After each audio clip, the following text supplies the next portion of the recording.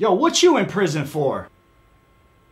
Me? Yeah, you. Drug charges and arson. Oh, you mean when you drugged that little boy in the woods and gave him some fire ass head?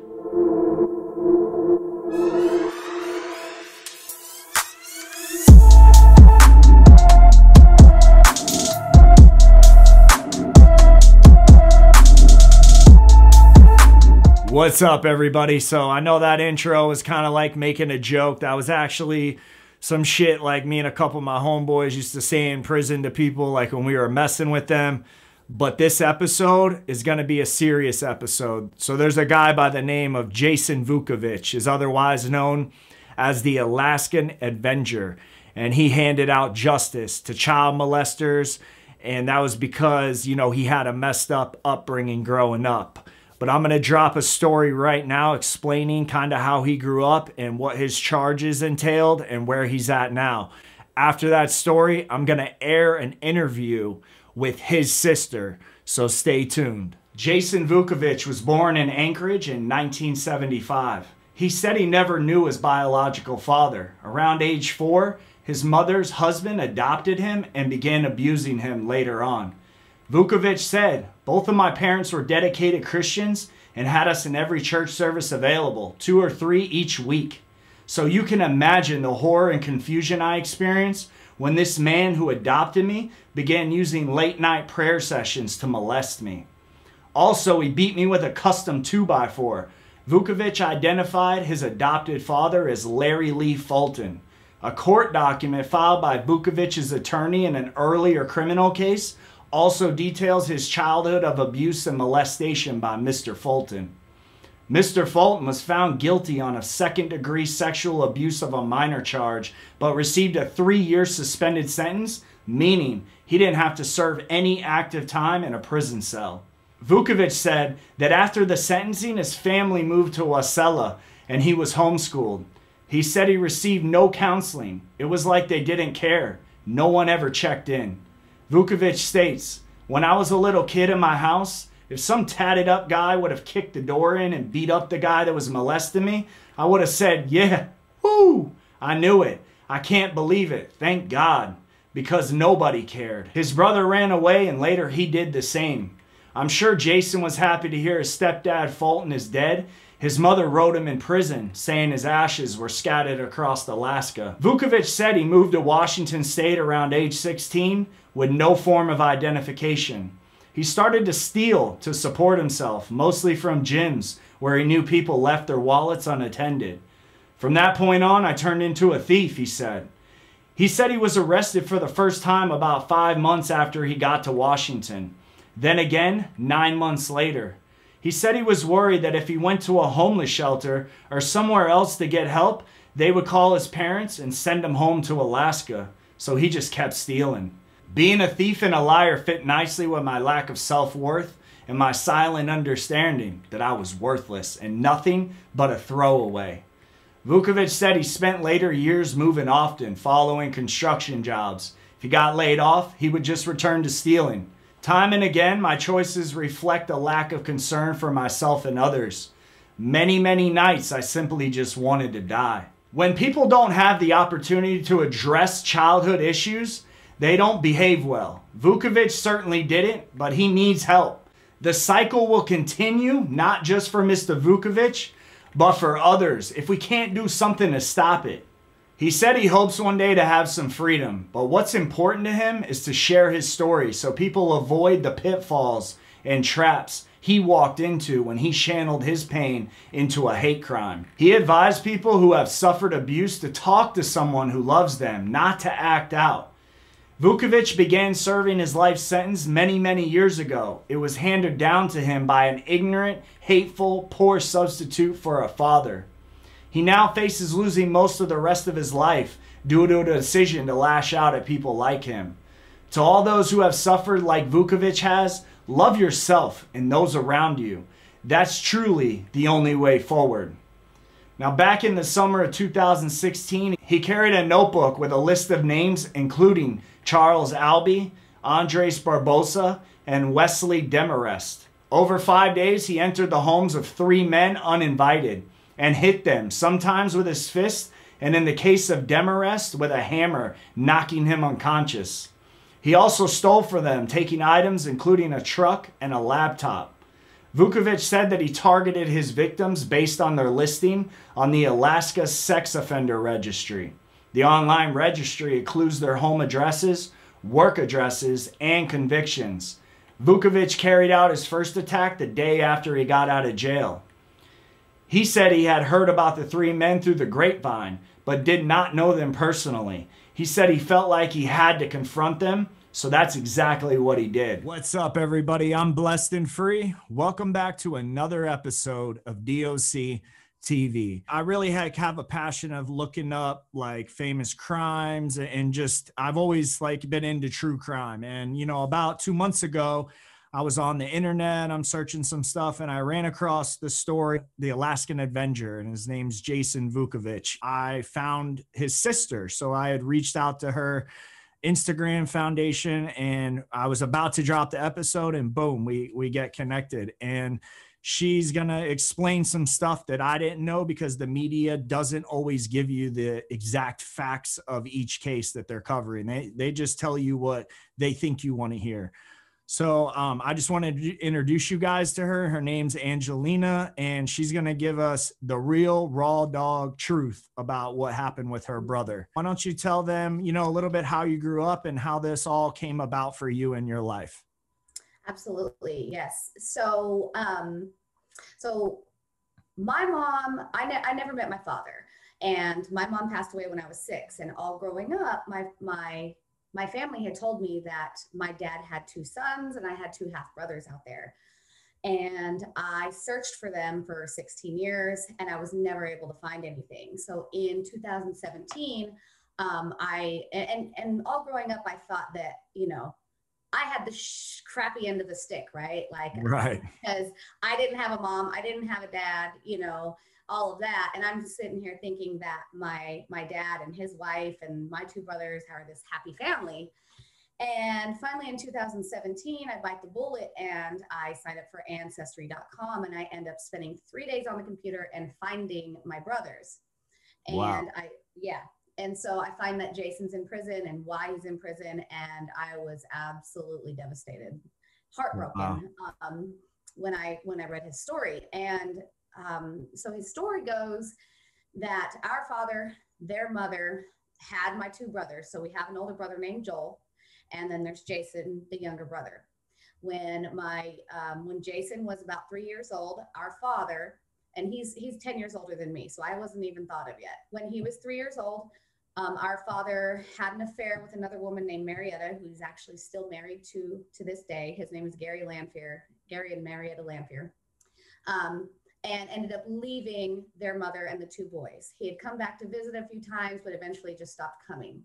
Um, so they were very, very, very involved in the church. Um, our grandparents were missionaries. My dad and, and Sandy were missionaries. In fact, my dad was born in Indonesia. Both my brothers have been to Indonesia multiple times when they were little doing missions. And so their mother, Sandy, um, quickly remarried to a man I think she met in the church named Larry Fulton.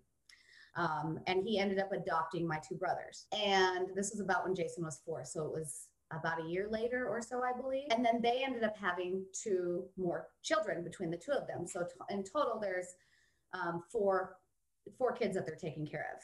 When my brother was about 12 years old, which Larry would actually beat them with belts, with sticks. Eventually, he had a, a, a handmade two by four with double handles that he would beat them with um, and that and that started from you know whenever he was pretty young.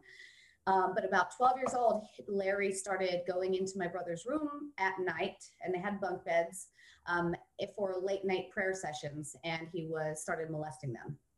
Damn that's crazy. And yeah. i'm sure that abuse had a, I mean, even before, you know, he was doing the late night prayer sessions with him, I grew up the kind of the same way you did. You know what I mean? My dad died. My mom wasn't in my life. I didn't really have parents. I had grandparents, but so, but when I did see my mom, you know, there was a lot of abuse and I know that affect me as a child. And then I can't even imagine with that on top of, you know, the late night prayer sessions, but So he didn't have an easy upbringing. No, and um, I think at some point, that so this the abuse goes on for about a year, the sexual abuse, um, along with the beatings. And at some point, they tried to tell Sandy, and Sandy didn't believe them, and actually called Larry into the room and said, "You tell him what you just told me." And you know, they eventually tell say it, and he denies it, and she doesn't believe them. All that happens. Um, so about a year, so a year goes by, and Joel is 17 at the time. And he tell he has a little girlfriend. He tells her what's going on. She's like, "We got to get you out of there." So Yeah. he, yeah. So she, um, so he goes. She picks him up. They go up to the hospital, I guess, where Sandy's working. They steal her car. They they take off. They report the car stolen, and eventually the cops pick him up and they're going to take him back home. And he's like, whoa, whoa, whoa. He's like, I'm not going back there. Here's what's Yeah. going on. Right. Like Right. this, this, this going on. So an investigation started. And uh, my brother, my, my Jason, actually was offended and actually hurt that Joel left him behind because he was like, man, how are you going to leave without me? Like, you know, Yeah, he probably felt scared being alone. yeah.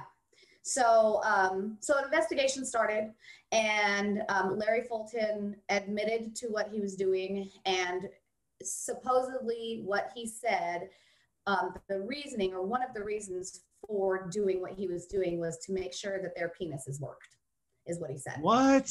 Yeah. Oh So, my god, man. um, Sick. anyways, yeah. So he ends up getting convicted um, of molesting them. Keep in mind, Sandy and their church are supporting them through the entire thing. Jason remembers going into like church counseling sessions with the whole family and the church trying to tell them what to, what they can't, what they should and shouldn't say. One of them was, uh, make sure when they interview you or when they, when they, you know, um, you know, when they talk to you, when they start asking you questions, that you tell them you've never ejaculated and um Yeah. yeah so it was just really everything was very weird and as a mother of two girls i just i just don't understand the the stance of the mom supporting larry through the whole thing so anyways and then in the church too so so fast forward larry gets convicted he gets um, sentenced um, a three year suspended sentence which basically means three years of probation Right. um, Joel is placed into foster family for the next year or so because he was 17, about to be 18. Um, oh, and and also, whenever they started um, talking to the boys and asking questions, you know, Joel gave everything. He spilled ev- all the guts, right? Well, when they pulled Jason aside to talk to him, you know, Jason, he was 13 at the time. He um, was not fully truthful about everything. He didn't want to go against his parents. He didn't want to out his parents um, you know, he didn't want to go against his authority figures and it was scary for him. And so he didn't admit to everything that was fully going on as a 13 year old. And a lot of kids, you know what? I'm, I'm super proud of, of children who actually have the courage to stand up because majority of kids don't even, won't even bring it up, you know, like they're terrified. Yeah. So- I mean, it, well, when the mom is blowing it off, the church is blowing it off. You kind of, I can't even imagine. He was probably like, nobody cares about me. Like, it's not mm-hmm. going to matter at this point if I say anything or I don't. Or what, what's going to happen to me if I do? Who, Right, the that church? too, What is yep. my mom? What is Larry going to do to me? You know? So he was terrified. He didn't fully fess up to everything. Um, so Joel ends up getting placed into foster care for the next year until he was 18. Jason, however, was sent back to be with Sandy.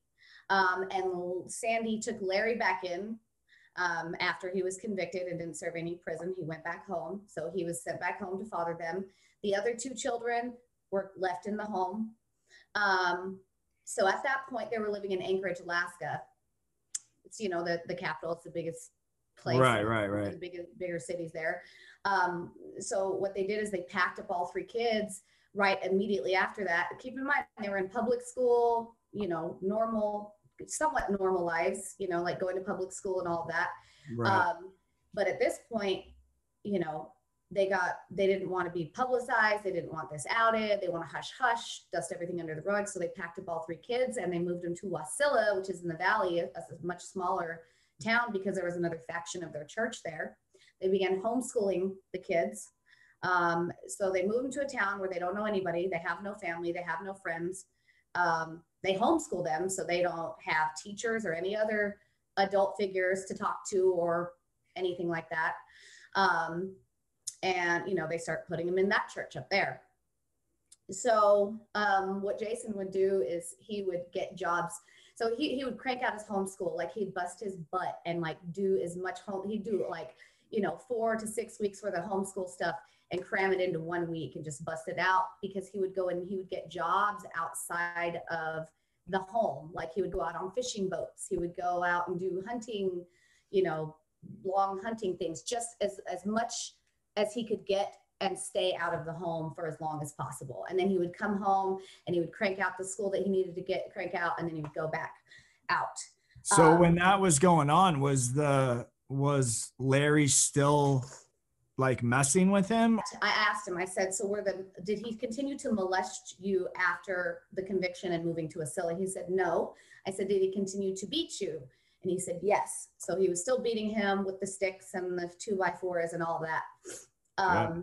To the point where like he, there was some days he couldn't even stand up or sit down, like it was one or the other because he was bruised from his lower back to his knees, you know he said that he remembers sitting in church one time and the church was um, coaching all the families on how to wh- how and where to beat your child so that the authorities won't know and it won't be noticeable and it was between your butt and your knees is the best place because I don't remember the reason, but he, that's what he said. He, he remembers that too. And um, it's just the whole thing is just crazy. No, none of the authorities, no, nobody came back to check on him. Nobody did well checks on the kids.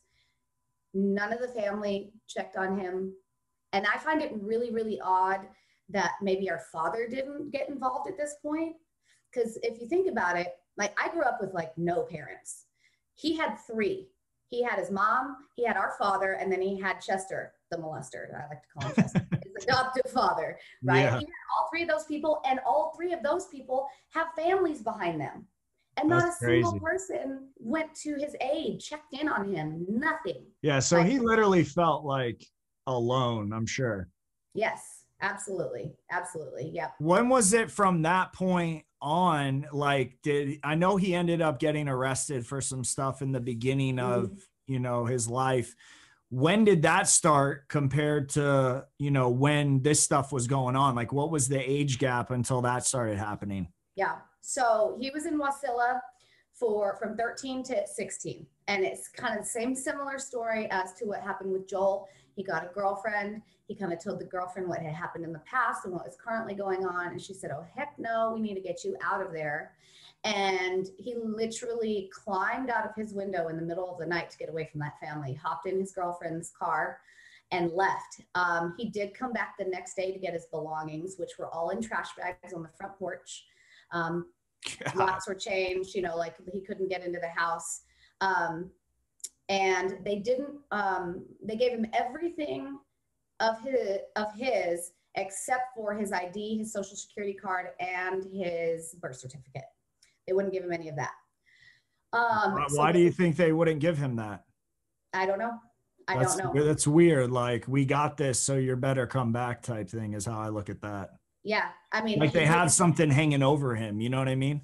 Yep. This piece of the story is important because he can't get a job later on. Right. Right. That's what I was just gonna say. Yeah. So so him and the him and the girlfriend, they sell the girlfriend's vehicle, you know, they sell all their belongings or whatever. And at this time, it was like you could get plane tickets and get on planes without actually having your IDs and stuff. So they get a plane ticket to go down to Seattle, which is where Joel is. And he had okay. gotten in contact with Joel.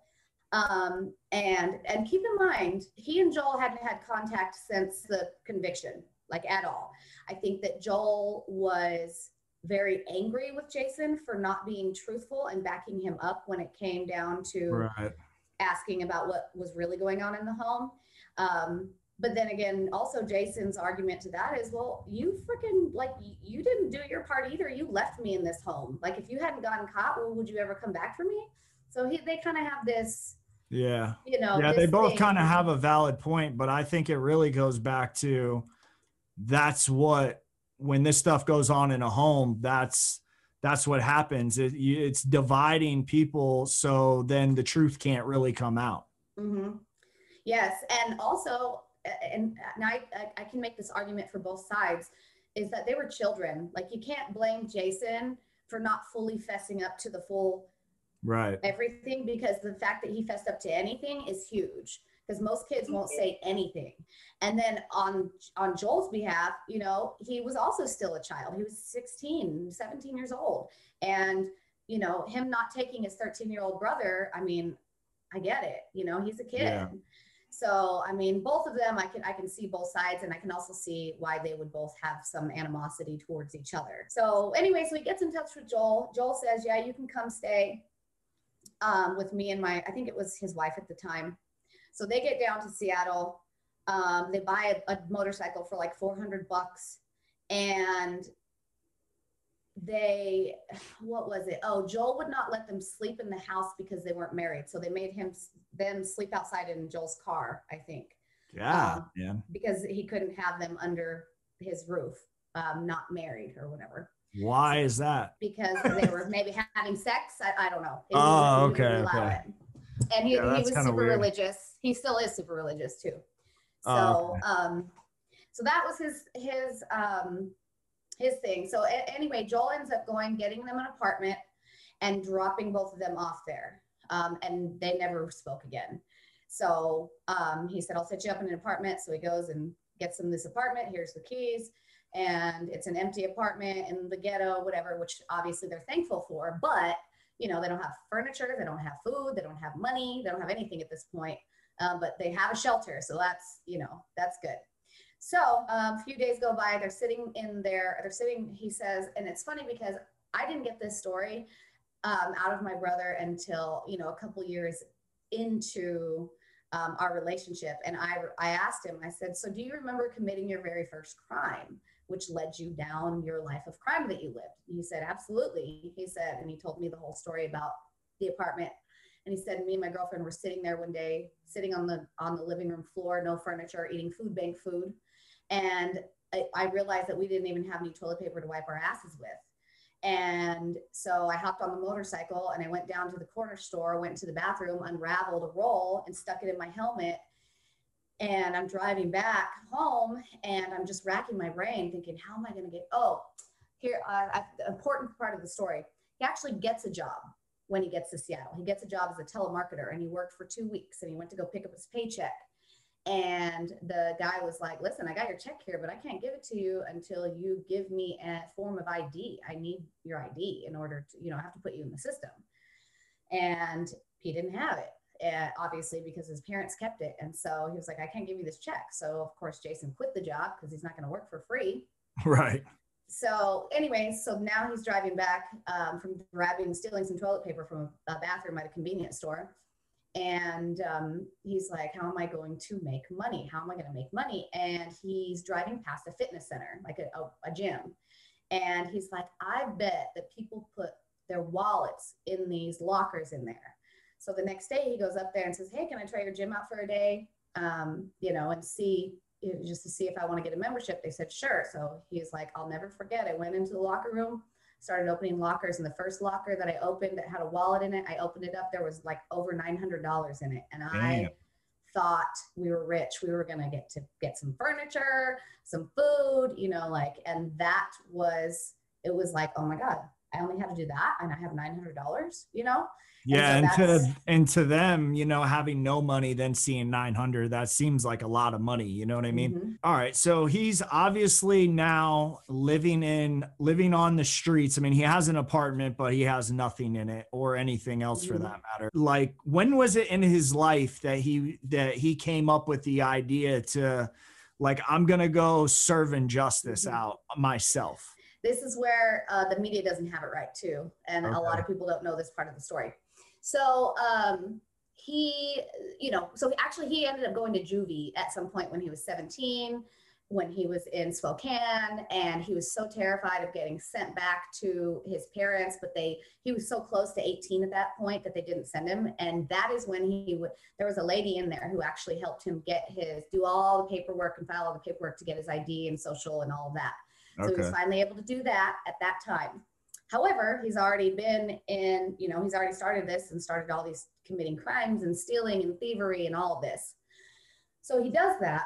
He, you know, he, he gets regular jobs in construction and, you know, doing all kinds of different things, but he's also, he also hustles on the side, you know, runs drugs, does credit card fraud, check fraud, you know, swapping tags, all this stuff. At, at, and at some point he meets his wife. Um, he was married for, I don't know how many years they were actually married for, but I know that they were together for about 17 years. Um, wow. So yeah. um, a minute. yes. Yes. Okay. And he was kind of young. He was like 18 or 19, I think, maybe even 17 when he met her. No, no, it, was, it might have been 18. I don't know. He was young. I know that. And she was a little bit older than him. And she was already doing things like, you know, swapping tags and different things. So he, she kind of got him into that. And they just lived this life of, you know, crime. And he would get jobs and get legit jobs, but they would also do all these things on the side. Right, right. Um, so anyways, um, eventually, you know, they drank, they smoked, they did whatever, like, you know, they did drugs, they did all this whole life. And eventually, you know, it kind of blew up and they split. And she, um, you know, he was able to talk to the kids every once in a while, but, you know, eventually she cut him off from that. And at this point in his life, he was, you know, like, what do I have to lose here? Like, you know, and, and right, it seemed hopeless. Mm-hmm. And there was things throughout his life that he did to help women and and kids little things you know like there was girls being sex trafficked and stuff like that that he helped out and kind of saved just little stories along uh, along the way but at this point in his life uh, he's still he's down in the lower 48 they have actually lived in a few states. It's not just in you know washington. Okay.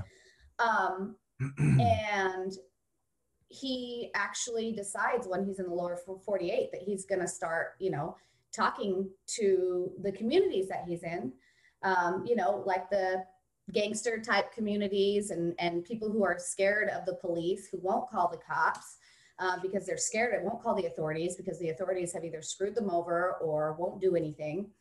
Um, and try to, you know, try to find out if there's any anything going on that shouldn't be going on that he can help out with. And so he, he does he starts getting names and get, he, he starts getting lists of names and what he does his whole point of what he was doing was to scare these people into not doing what they were doing not offending and committing these right, right. acts right? And because his whole thing is you know jail time doesn't scare these dudes.